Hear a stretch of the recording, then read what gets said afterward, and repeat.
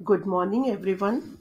I am Dr. Kalpana Sharma, Associate Professor, Department of Zoology, SPC Government College, Ajmer बच्चों मेरी आज की class में मैं आपको डिफरेंट टाइप ऑफ़ क्रोमोसोम्स के बारे में डिस्कस करूँगी जिसमें बेसिकली अपन लैम्प ब्रश क्रोमोसोम और पॉलीटीन क्रोमोसोम्स के बारे में बात करेंगे सुनाओ सबसे पहले हम देखेंगे lampbrush chromosomes. Now the question arises, what are lampbrush chromosomes? Lampbrush chromosomes are the largest known chromosomes found in the yolk-rich oocytic nuclei of certain vertebrates such as fishes, amphibians, reptiles, and birds. Lamp brush chromosomes क्या होते हैं?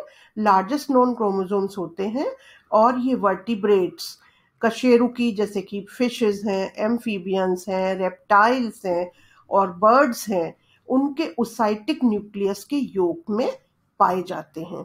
They can be seen with naked eyes and are characterized by fine lateral loops arising from the chromomeres during first prophase diplotin of meiosis ये जो chromosomes हैं, इनका क्या characters होता है कि इनके दोनों साइड लेटरल लूप्स पाए जाते हैं, जो कि क्रोमोमियर से अराइज होते हैं।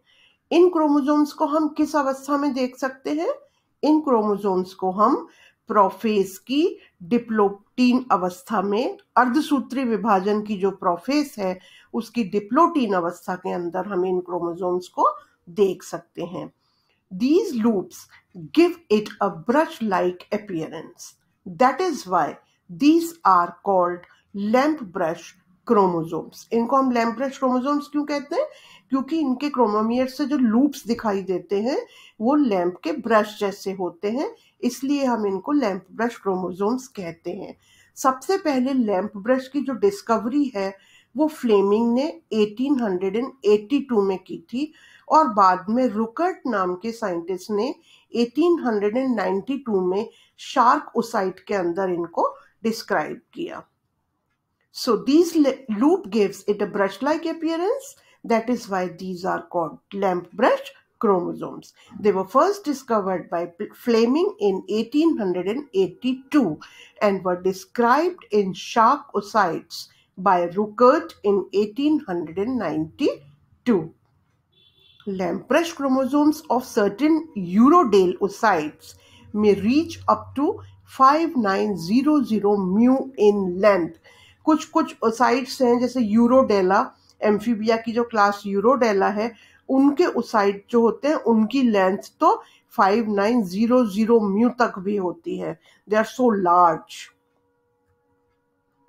it consist of longitudinal axes formed by a single DNA molecule, along which several hundred bead-like chromosomes are distributed in a linear fashion अगर हम इसका स्ट्रक्चर देखें तो इनका स्ट्रक्चर कैसा होता है? लॉन्जिट्यूडनल एक्सेस होता है, जो कि सिंगल डीएनए मॉलिक्यूल का बना हुआ रहता है, जिसके ऊपर बहुत सारे bead like chromosomes linear fashion के अंदर डिस्ट्रीब्यूटेड रहते हैं। From each chromomere, there emerges two symmetrical lateral loops, one for each chromatid, which are able to expand or contact in response, response to various environmental conditions. About 5 to 10 percent of the DNA is there in the lateral loops. Lateral loops के अंदर कितना percent DNA पाया जाता है 5 to 10 percent. Loop formation reduces the mass of the corresponding chromomeres, implying a spinning out of chromomeres material into the lateral strand. The, the centromere also have the appearance of elongate Feulgen positive chromomeres, but they characteristically lack lateral loops. Here in this picture, you can see the structure of the lamp brush chromosome. In the first diagram, the first diagram A is showing the gross structure of chromosome, a part of a chromosome where you can see the main axis of chromosomes or DNA, you can see the chromomere and a loop. In the second diagram, that is in the B diagram, you can see the fine structure of chromosome or a part of a fine structure of a chromo chromosome where you can see that there are two loops loop axis DNA matrix is there matrix is composed of RNA plus proteins in the third diagram you can see the RNA synthesis in the loop loop के अंदर जो RNA synthesis होता है और protein का जो निर्माण होता है ये लैंप ब्रश क्रोमोजोम का दिखाया गया है so this is about the structure of lamp brush chromosome lamp brush chromosomes can be dissected in from oocyte nucleus. Individual chromosomes are liable to stretching. With extreme stretching, chromomeres begin to separate transversely into two halves so that the paired loops from double-stranded bridge. The axis between chromomeres is also double, which can be seen in certain special regions where two elements separates longitudinally and bear single loops. It was given by Callan in 1955. These experiments indicate that each chromomere possesses four quadrant separated by both a transverse and a longitudinal line of division. Callan in 1963 regards it as that the entire chromatid pair is made up of two continuous strands which lie parallel to one another in the interchromomere regions are tightly folded in the chromomere and separate as single unfolded fiber in the loops. Each of the two fiber would correspond to one conventional metaphase chromatid. There is a fundamental similarity in the organization of amphibian lamp brush chromosome and dipteran giant polytene chromosomes. In both the cases, very long single fiber corresponds to single chromatid and are partly but not completely extended. The substructure of a salivary chromosome puff also bears some similarity to that of the lamp brush lateral loops. Lateral loops are formed of DNA. In chromomeres regions, DNA is tightly folded and transcriptionally inactive. In lateral loops, RNA synthesis is intense.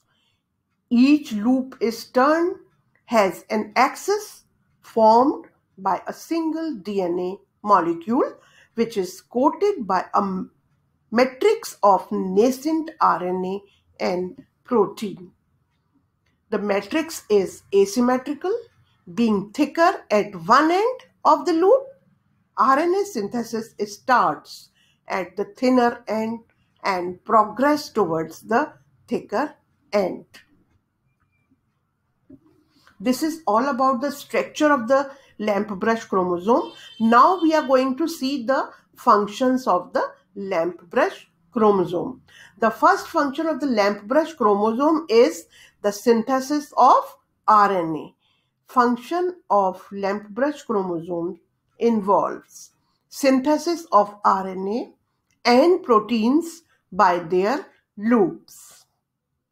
RNA is synthesized only at the thin insertion and then carried around the loops to a thick insertion. There, it may be either destroyed or released into nucleus. The second function of the lamp brush chromosome is formation of yolk material. There are some possibilities or there are some probabilities that lamp brush chromosomes help in the formation of certain amount of yolk material in yolk material for the egg. This is all about lamp brush chromosomes. Now, secondly, we are going to discuss the polytene chromosome अब देखते हैं कि polytene chromosomes क्या है और lamp brush chromosome से किस तरह डिफरेंस रखते हैं। Polytene chromosomes are also giant chromosomes but relatively smaller than lamp brush chromosome polytene chromosomes भी जॉइंट क्रोमोजोम्स ही होते हैं परंतु ये लैंप ब्रश क्रोमोजोम से थोड़े छोटे होते हैं। They are found in the larvae of certain dipterans किसमें पाए जाते हैं? पॉलिटीन क्रोमोजोम्स डिप्टेरा मक्खी, मच्छर ऑर्डर वाले फाइलम इनके लार्वी के अंदर ये पॉलिटीन क्रोमोजोम्स पाए जाते हैं। Such banded chromosomes occur in the larval salivary glands कहाँ पे पाए जाते हैं? सेलिवरी ग्लैंड लार्वा की सेलिवरी ग्लैंड्स के अंदर। Midgut epithelium and rectum and Malpighian tubules of various genera of Drosophila, Scara, Rhynchoscaria, and Chironomus कहाँ कहाँ पाए जाते हैं ये? They are found in the salivary gland midgut epithelium and rectum and Malpighian tubules of various genera कौन कौन सी genera है? Drosophila Sciara Rhynchosciara and Chironomus in these larvae the salivary gland contain salivary cells so large in size that they can easily be seen with the lens power of a dissecting microscope. Nuclei of these cells are much larger than those of ordinary cells, being generally about 25 mu in diameter and chromomeres in nuclei are so large that they are 50 to 200 times as large as chromosomes in other body cells of the organism. These polytene chromosomes were first observed in 1881 by E.G. Balbiani in Chironomus and was studied by Kroschelt in 1884 discovery तो इन्होंने, इनको observe तो किया था बालविनी ने, और इसकी study की गई थी क्रोशेल्ट के द्वारा and Carnoy Korschelt and Carnoy Heitz and Bauer in 1933 studied these giant chromosome in Bibio hortulanus larvae while Painter in 1933 described them in salivary glands of Drosophila. तो अगर हम इसकी हिस्ट्री देखें तो ये पाया गया कि खोज तो इसके ऑब्ज़र्व किया था इसको बालबिनी ने 1881 में। और क्रोशेल्ट ने और कॉर्नी ने, कायरोनोमस लार्वा के अंदर इसकी स्टडी की थी। हाइंस और बॉरन ने 1933 के अंदर इन क्रोमोजोम्स को बिबियो हॉट्यूलेनस लार्वी के अंदर देखा और पेंटर ने 1933 में ही इनको डिस्क्राइब किया ड्रोसोफिला की salivary glands के अंदर because of their large size showing numerous strands these are named as polytene chromosomes अब इनको polytene chromosomes क्यों कहते हैं because of their large size showing numerous strands एक तो लार्ज साइज़ और इन लार्ज साइज़ के बाद इनके अंदर बहुत सारे स्ट्रेंड्स पाए जाते हैं this name was suggested by Koller और commonly salivary gland chromosomes These are called as polytene chromosomes or commonly known as salivary gland chromosomes. The later term is a misnomer as these chromosomes may occur in other somatic cells of body besides salivary gland cells. इनको salivary gland cells कहना अनुचित इसलिए होगा क्योंकि salivary gland के अलावा ये कई सारी सोमेटिक सेल्स के अंदर भी पाए जाते हैं In this slide, you can see the structure of a polytene chromosome showing nucleolar part where you can see the nucleolar organizing region, nucleolus, heterochromatic parts, bands and interbands. Thank you.